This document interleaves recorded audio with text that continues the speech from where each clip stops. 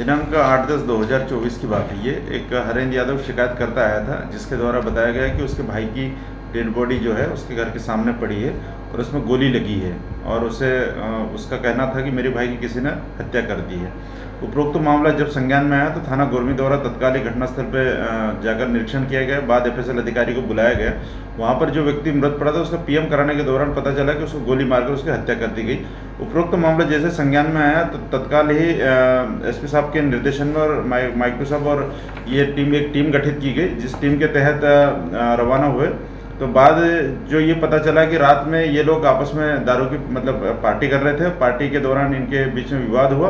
विवाद के दौरान ही इनके द्वारा, जो इनके साथी द्वारा इन्हें गोली मार दी गई। तो मृतक जो था, उसकी उम्र करीब 20 वर्ष थी।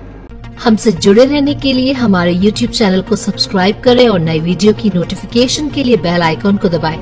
अगर आप ये वीडियो Facebook पर देख रहे हैं तो लाइक ज़रूर करें और ज़्यादा से ज़्यादा शेयर करें। धन्यवाद।